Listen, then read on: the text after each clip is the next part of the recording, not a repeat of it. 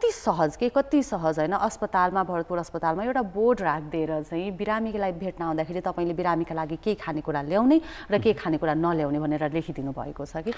Imagine गर सन्तोष हामीले चाहिँ यस्ता नोटिसहरू प्रायः जसो चाहिँ हामीले अब अहिलेको जमानामा फेसबुकमा ट्विटरमा होइन इन्स्टाग्राममा त्यता वेबसाइटमा राखिरहेका हुन्छौँ। सबै व्यक्तिको पहुँच छ र त्यहाँसम्म। पक्कै पनि र यो जो टार्गेट अडियन्स हो त्यहीसँग पुग्नको लागि चाहिँ अस्पताल जाने बिरामीकै लागि भनेर अस्पतालमै टाँसिनु चाहिँ अझै राम्रो पनि हुन्छ र यसमा हामीले के देख्न सक्छौँ भनेपछि धेरै जसो प्रायः जसो चाहिँ हामी जब अस्पताल जान्छौँ कसैलाई बिरामी भेट्न जाँदै गर्दाखेरि दुई तिनवटा कुरा लिएर जान्छौँ। एउटा फलफुल लिएर जान्छौँ। होइन जुन राम्रो पनि हो।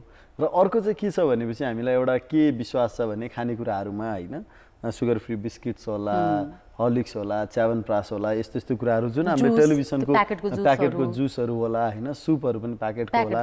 यस्ता कुराहरू जुन हामीले एडभर्टिजमेन्टमा देखिराखेका हुन्छौँ त्यही कुरो नै ठ्याक्कै यो त राम्रो हो भनेर लगिराखेका हुन्छौँ तर त्योभन्दा धेरै नै राम्रो चाहिँ हाम्रो अर्ग्यानिक र आफै घरमा बनाएका कुराहरू हुन्छन् र विशेष गरी बिरामी हुँदाखेरि हामीले खानुपर्ने कुराहरू के के हुन सक्छन् त?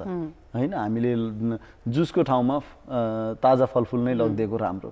हामीले हर्लिक्स च्यामनप्रासको ठाउँमा सातु र लिटो लगिदिएको राम्रो। किनभने यसको आफ्नै महत्त्व छ। यो र एकदम अर्ग्यानिक पनि हुन्छ र यसमा चाहिँ जुन बनाउँदाखेरि हामीले नर्मल्ली पनि राखेका हुन्छौँ बच्चालाईसम्म खुवाउँदाखेरि हामीले लिटो र सातु खुवाइराखेका हुन्छौँ भने बिरामीलाई पनि यसले धेरै नै ताकत दिन्छ। किनभने बनेको नै टु पार्ट्स अफ ग्रेन र टु पार्ट्स अफ पल्स भनेर भन्छ होइन? यो हामीले पढ्दाखेरि। यो एकदमै महत्त्वपूर्ण कुरा हो र सँगैसँगै हामीले सुप लगिदिइराखेका हुन्छौँ प्याकेटको।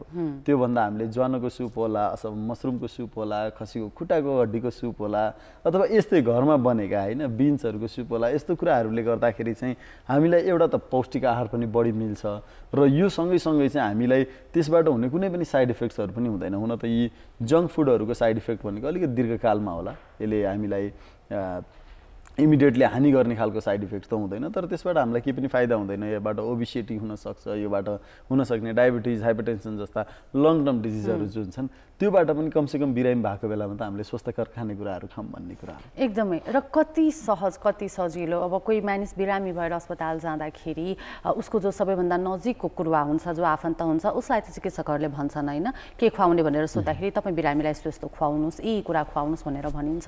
तर कोही मानिस चाहिँ अस्पतालमा भर्ना भएर बसेको छ भने कति धेरै मानिस भेट्न आउँछन्? तिमीले भने जस्तो केही न केही बोकेरै लान्छन्। उनीहरूले त अब सोध्दैनन् नि त सबैले चिकित्सकलाई मैले मेरो बिरामी भेट्न आउँदा के लिएर आउँ? भनेर सोधिँदैन। अस्पतालमै टक्क देखिने ठाउँमा पढ्न सकिने गरी अहिले त हामीले एकदम त्यो विभिन्न समूहका व्यक्तिहरूका लागि त्यो मैत्रीपूर्ण अभ्यास पनि सुरु गरिदिनुपर्छ कि। त्यो त्यो फन्ट पनि हेर न कस्तो मजाले रातो हरियो होइन सबै कलरमा डिफ्रेन्ट डिफ्रेन्ट कलर्समा छ जसले चाहिँ आँखा तान्छ। त्यो पनि हामीले सोच्नुपर्छ विचार पुर्याउनुपर्छ ठुल्ठुलो अक्षरमा सबैले हेर्न मिल्ने पढ्न मिल्ने गरी अस्पताल प्राङ्गणमै राखिदिँदा जो पनि आउँदाखेरि सजिलै थाहा पाउन सक्छन् ए ल मैले बिरामी भेट्न जाँदैछु मैले के लिएर जाने? चिकित्सकलाई सोधिरहनु परेन कसैलाई सोधिरहनु परेन पैसा फाल्तु खर्च भएन। त्यो नोटिस पढिरहँदाखेरि सन्तोष। बिरामीलाई भेट्न जाँदा के पनि लिएर जान सकिन्छ भन्दाखेरि त्यहाँ चिउरा पनि लेखेको छ कि? तपाईँ चिउरा लिएर जानुहोस् दही लिएर जानुहोस्। हामी चिउरा दही हाम्रो घरमै हुन्छ तर हामी सोच्दैनौँ नि त। चिउरा पनि बिरामी भेट्दा लिएर जाने हो र। होइन हामीलाई त बिरामीलाई साँच्चै भेट्दा के लिएर जाने भन्दाखेरि तिमीले अघि भने जस्तो हर्लिक्स। होइन, अब एनर्जी चाहियो के लिएर जाने? च्यवनप्रास होइन? तर त्यसरी प्राङ्गणमै अरू अरू के के छ नि यस्तो ओहो एनर्जी ड्रिङ्कहरू जुन हामी भन्छौँ होइन?